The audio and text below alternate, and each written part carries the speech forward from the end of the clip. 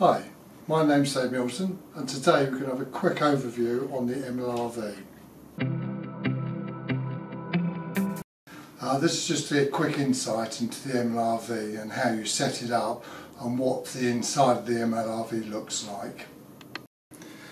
So here we have the MLRV. Uh, you may note that this is a very short version. It's the one we use for demos, which is ideal for just showing how this is set up because it's small and you can see the whole device.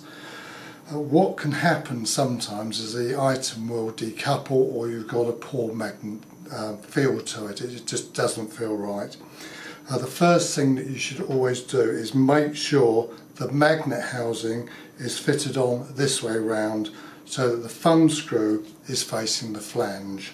If you fit it on the wrong way around then you only get one set of magnets connecting uh, which will just, the device is just very weak. Now what happens if this, uh, this device decouples while you're using it um, will be this. So the inside will just run free.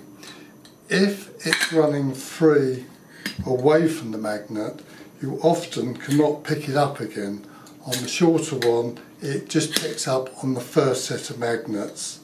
So as you can see it's connected to the first set but if I push it then it connects to the second set of magnets. And then if I pull it back you'll notice a gap here which will normally be about 12 millimeters from the magnet to the back of the housing. So that's what it should like when it's originally set up. So if this does decouple while it's in the vacuum you have to have something at this end that you can push against so you can load the magnets back on again. So if I just decouple it and then pull this back, that's the first set of magnets it's look, hooked onto, pull it a bit further, that's the second set. So if you're lucky to catch it on the front and you can just pick on the first set of magnets, it's fine.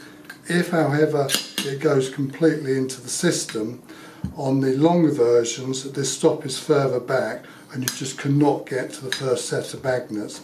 So you have to have some way to be able to push this back so it clips onto the first set of magnets, push it against something and then locate it onto the second set of magnets. So then again you can see it just comes to the 12 millimeters at the back. So the other question we get asked is what sort of force does it take to decouple?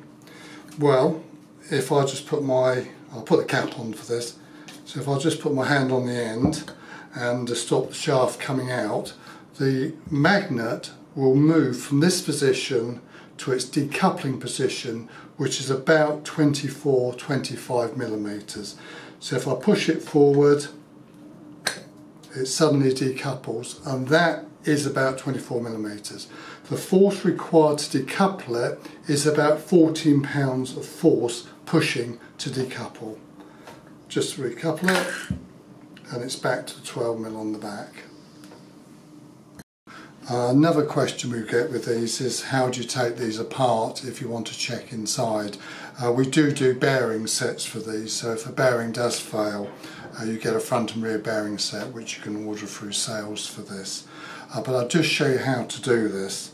So with the magnet obviously has to be removed from the device first or the magnet housing which I take off and this will now leave the shaft to run free inside.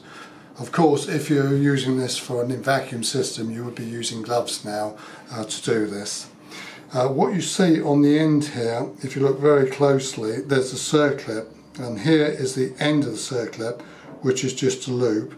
Uh, what you need is either a very small screwdriver, or what I'm using here is a scalpel. Of course, if you use a scalpel, you've got to be very careful, but a scalpel just gets under the clip quite easily.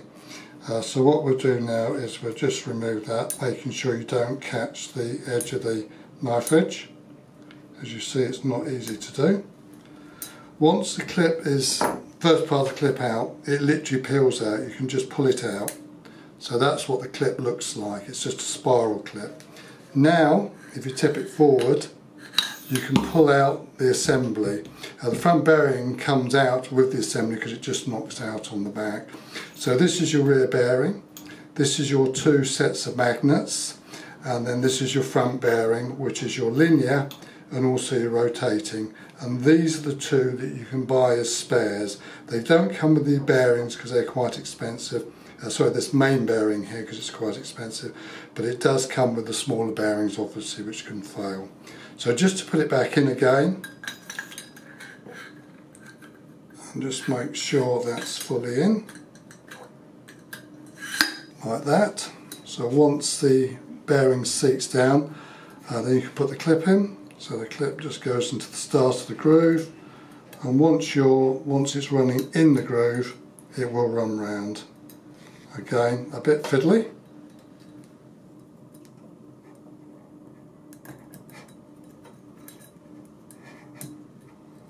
You wouldn't believe how many times I've done this and I'm having trouble now.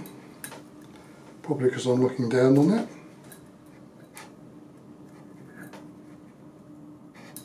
There, and that's in. So the bearing, is, uh, the bearing is now held in by the clip. So put it on the table, put the magnet on, making sure you got this end. First set of magnets, second set of magnets. Well, that was a very quick video. I hope you found it interesting because it does show the insides of the drive, how it's set up and how to fix a problem if you have one. If it was interesting, please subscribe to our channel.